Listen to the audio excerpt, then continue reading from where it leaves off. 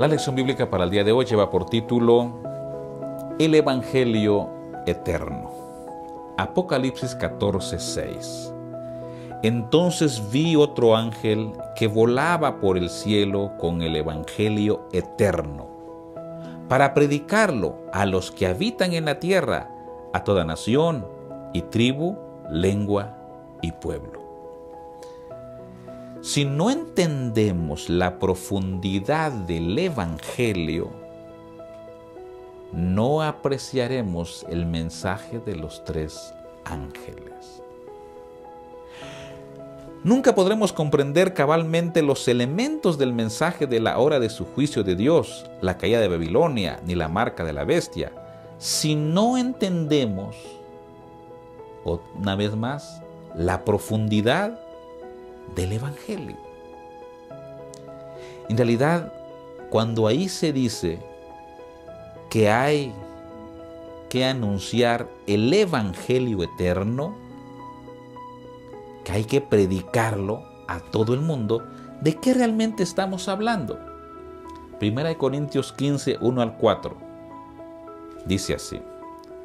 Además os declaro, hermanos, el Evangelio que os he predicado, el cual también recibisteis, en el cual también perseveráis, por el cual asimismo, si tenéis la palabra que os he predicado, sois salvos, si no creísteis en vano.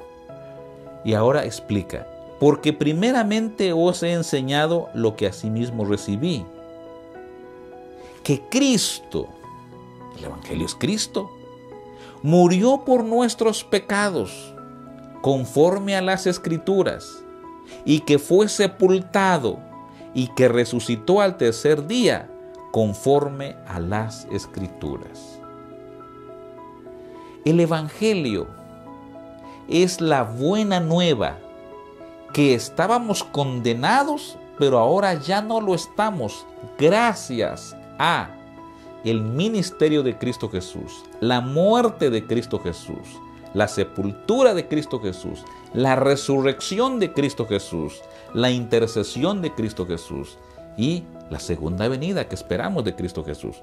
Romanos 3, 24 al 26 lo enfatiza así siendo justificados gratuitamente por su gracia, mediante la redención que es en Cristo Jesús. Este es el Evangelio, la redención que hay en Cristo Jesús, a quien Dios puso como propiciación por medio de la fe en su sangre, para manifestar su justicia a causa de haber pasado por alto en su paciencia los pecados pasados con la mira de manifestar en este tiempo su justicia, a fin de que Él sea el justo y al que justifica al que es de la fe de Jesús. Y podemos seguir con Romanos 5, 6 al 8, también ahí usted lo puede leer. Dice el 6, porque Cristo, aun cuando éramos débiles, a su tiempo murió por los impíos. Y continúa la explicación. De acuerdo a estos versículos y a muchos más, por supuesto, el Evangelio es la increíble noticia de la muerte de Cristo por nuestros pecados, de su gloriosa resurrección, por supuesto, y de su eterno amor y preocupación por nosotros. Entonces, podemos decir que somos justificados gratuitamente por gracia. Ese es el Evangelio por la gracia de Cristo Jesús, nosotros alcanzamos vida eterna en Cristo Jesús. ¿Qué lecciones podemos aprender? Dos lecciones. La primera, no merecemos la gracia de Cristo. No somos dignos de ella, ni la podemos ganar. Jesús sufrió la agonizante y dolorosa muerte que experimentarán los pecadores perdidos. Él padeció integralmente la ira o el juicio del Padre contra el pecado. Fue rechazado para que nosotros pudiéramos ser aceptados. Él murió la muerte que era nuestra, para que nosotros pudiéramos vivir la vida que era suya. No nos cansemos de dar gloria a Dios. Y dos, antes de crear al mundo. Dios sabía lo que sucedería, por lo que instituyó el plan de salvación para hacer frente a la crisis cuando finalmente llegara.